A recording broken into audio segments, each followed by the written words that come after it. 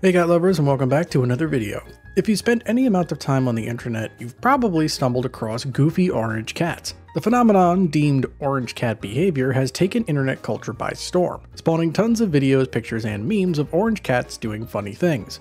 But do orange cats really act differently than other cats? Is there even such a thing as orange cat behavior? That's what we're here to find out. If you enjoy this kind of content, subscribe to the channel for more cat videos. Now let's explore the roots of the term and the science behind it to finally unveil the truth about our furry ginger friends. Understanding orange cat behavior. You've probably heard the term orange cat behavior floating around the internet or in general cat discourse, but what exactly does it mean?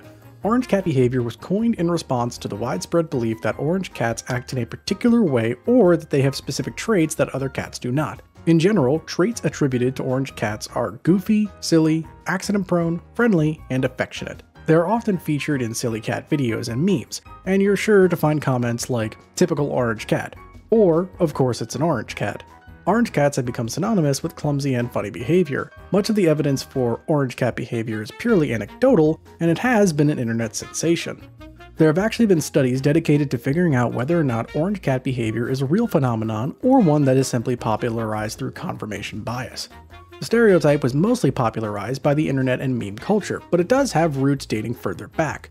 Most depictions of orange cats in pop culture possess the traits that are now attributed to orange cat behavior, for example, Garfield, arguably the most famous orange cat, is known for his laziness, gluttony, and silly antics, so it is plausible that some people apply their expectations for orange cats in pop culture to orange cats in real life.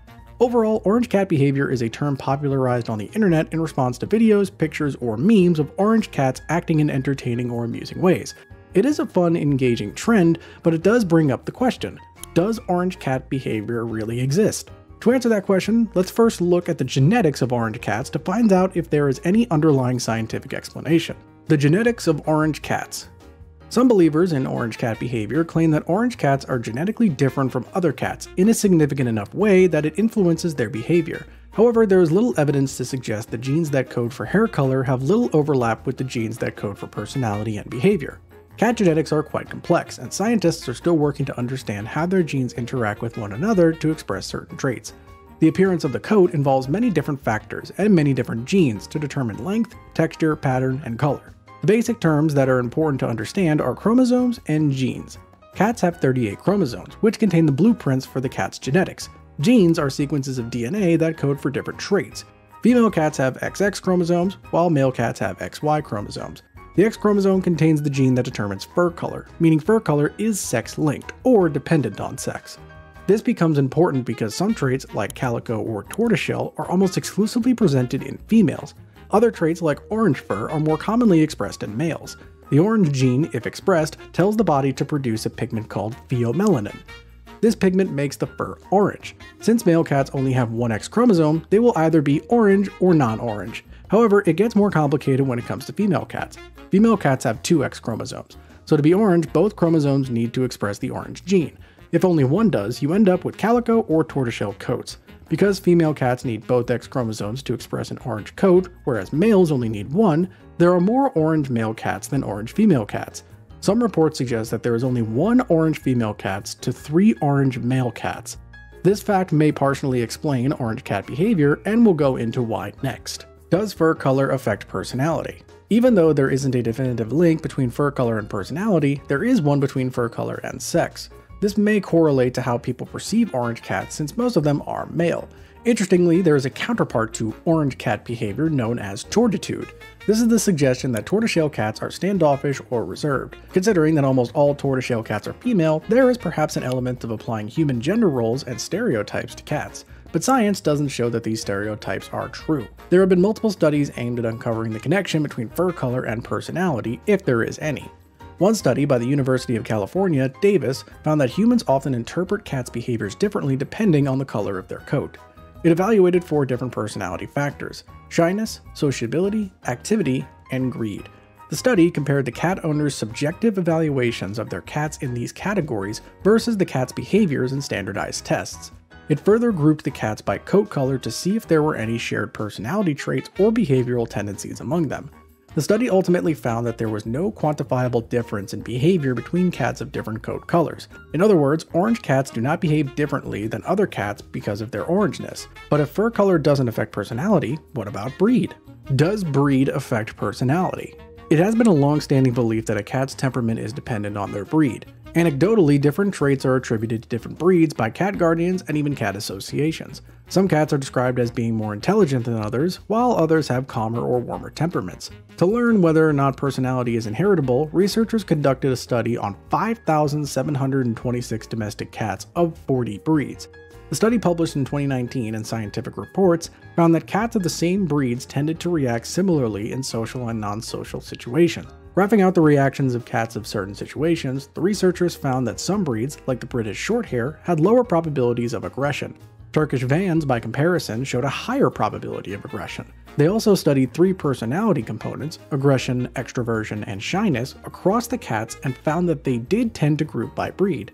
The study concluded that behavioral traits could be inherited at least to some extent. However, there is much unaccounted for, so the study may be considered reductive in failing to view the cats historically. As we know, there is much more that goes into behavior than just genetics. Environment, treatment, and experience are all important influences on personality, more research continues to be conducted to understand this distinction better. While there may be some link between personality and breed, no known link between coat color and personality exists. Nature versus nurture. While some aspects of behavior may be inheritable, it seems that a cat's experience in life are much more significant in shaping their personalities. Most researchers agree that nurture is far more influential than nature when determining how a cat reacts to certain situations. The most impactful factors seem to be socialization, particularly during the first 2 to 7 weeks of life known as the sensitive socialization period. These crucial weeks teach a cat how to react to survive, whether that be through aggression or affection. It can also influence their introversion or extroversion and willingness to traverse unfamiliar situations. However, this isn't to say that a cat's personality is cemented by the time they are 7 weeks old. Like humans, cats are capable of changing and adapting. A cat that was born into a hard life or neglected in kittenhood is not beyond help and should not be written off as a lost cause. All cats deserve love and care. It is widely accepted by researchers and cat specialists that both nature and nurture play a role in the development of a cat's personality. While there are some inheritable traits, experience and interaction play a huge role in how a cat perceives the world around them. It can be misleading to assign personality traits to cats depending on their coat color, thus stereotyping them and boxing them in their behavior. Instead, realize that cats are complex, adaptable animals just like us. Confirmation bias. A likely explanation for orange cat behavior is the phenomenon known as confirmation bias. Confirmation bias is when one processes and interprets information in line with their already existing beliefs. In the case of orange cat behavior, it is very possible that after being told that orange cats are silly, all subsequent videos of them being silly are used as evidence for the claim.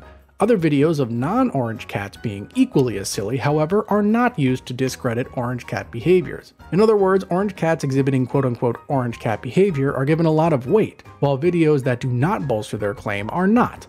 Evidence of orange cat behavior is selectively chosen to reinforce the stereotype, ignoring others that do not. Many cat researchers and experts suggest that orange cat behavior is simply finding patterns where there are none, a phenomenon known as apophenia. A 2015 study found that people have preconceived notions about cats based on their color. White cats are seen as shy and calm, bicolored cats are friendly, and tricolored cats are intolerant and cold. Orange cats were rated as very high in terms of friendliness and very low in terms of aloofness, fitting with the typical description of orange cat behavior. Of course, these assumptions have very little to do with the cats themselves other than their coat color, so it can be easy to see how human assumptions can interfere with how they perceive a cat's behavior and personality. It is entirely subjective assumptions, and as such can lead to stereotyping and bias. It is clear that cats are perceived differently based on their coat colors, but there is no evidence to suggest that these differences actually exist. As such, it is most likely that orange cat behavior is entirely based on subjective assumptions rather than objective truths. Now that we've busted the myth, it's time for Cat of the Week. This video's Cat of the Week is May. Her guardian says, May is estimated to be an 8 to 10 year old calico rescue from Florida. May was found living on the streets near our apartment complex when our family stumbled upon her and her sweet demeanor. May followed us all the way home and she has since been adopted by our family. May used to be underweight and sleeping under cars. Now she eats all the plate that we give her and loves to be around her new family. She went from being homeless to being the spoiled queen of our home. Talk about rags to riches. Congratulations, May. Keep being pawsome. To enter your cat for a chance to be featured, visit the entry link in the description box below. So, whether or not your cat is orange, do they exhibit orange cat behavior? Let us know in the comments below. Also, if you found this video interesting, please give it a thumbs up because it helps other cat lovers find our content. Thank you guys for watching and we'll see you next Catterday for another video.